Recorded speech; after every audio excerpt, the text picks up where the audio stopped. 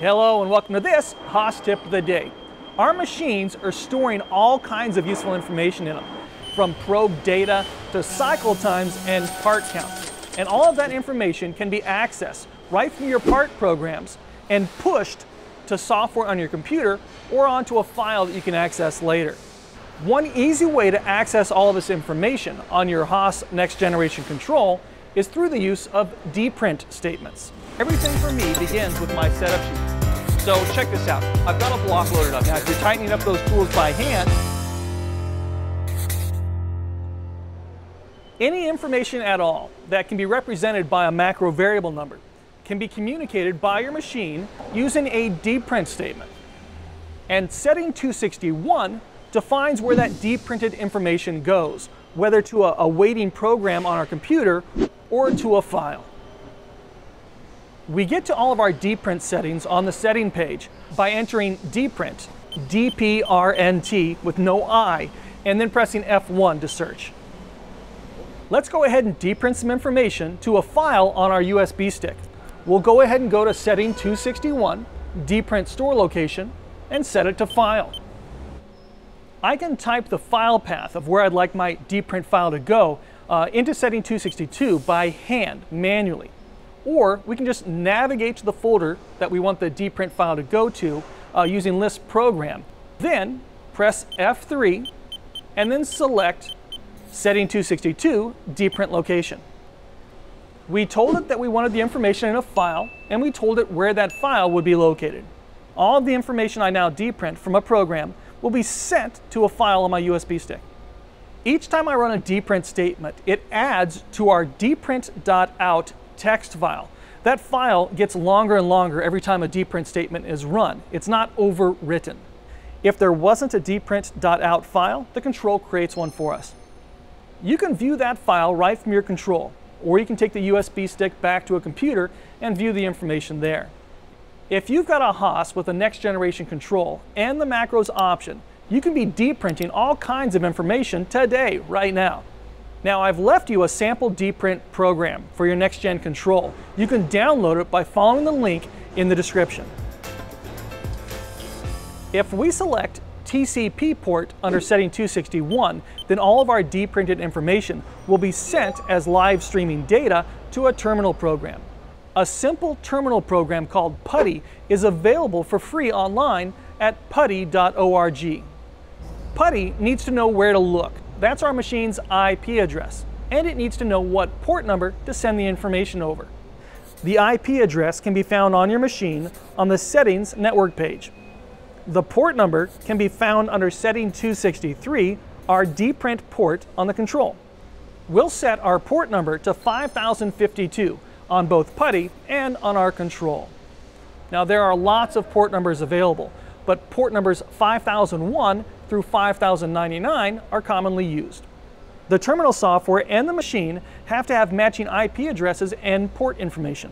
Now when we command a dprint statement from our program, it's going to be live streamed to that terminal program, PuTTY.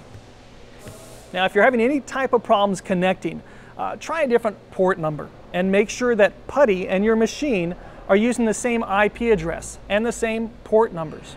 And for those of you that are using data collection, make sure that the port number listed under setting 263, our dprint port, and setting 143, our machine data collection port, are set to different numbers. Otherwise, you might end up with a conflict.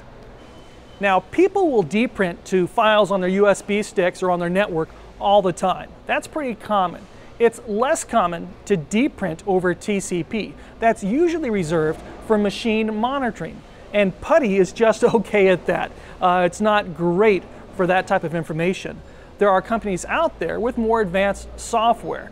Companies like Predator, MachineMetrics, Factory Wiz, and Spectrum are just a few.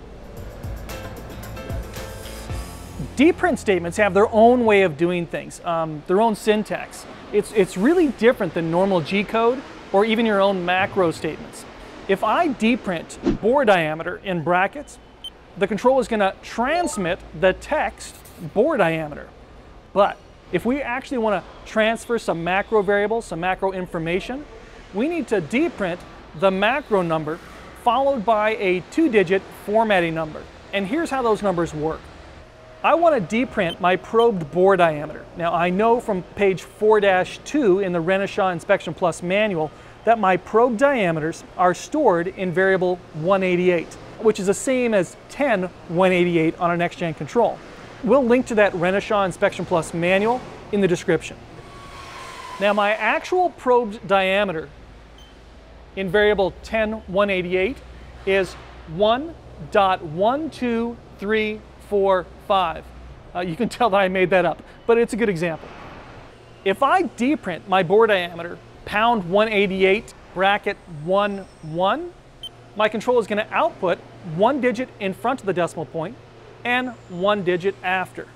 If I dprint that same variable with a format of 1 2, then we'll see one digit in front of the decimal and two digits after the decimal. 1 3, we'll see three places past the decimal. 1 4, we'll see four places past the decimal. Uh, in fact, with that four decimal place number, we'll see that the control rounded our number up from that fifth decimal place. Well, there you go. Any macro number that we want to communicate must be followed by that bracketed format number. Otherwise, it's just going to get transmitted as text. Those are the basics of dprinting. Now, for more information on how to format those dprint statements, just search for dprint in the latest version of the Haas manual. Also, you can find all those macro variable names, everything you'd ever want, in that manual that you can download from the Haas website. There are a couple things that you need to keep in mind when using dprint statements.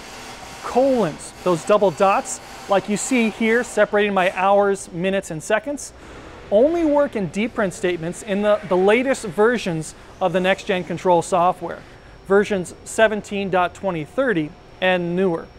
Also, in older software, you might have to use an asterisk to convey spaces between words or numbers in your dprint statements. Don't forget to follow the link in the description of the YouTube version of this video to find the example dprint statements that we've left for you. Dprint, uh, VNC Viewer, webcams, HaasConnect, uh, Machine Data Collect, all these features can work together to help you better monitor your machines. Well, thanks for letting us be a part of your success and for watching this Haas Tip of the Day.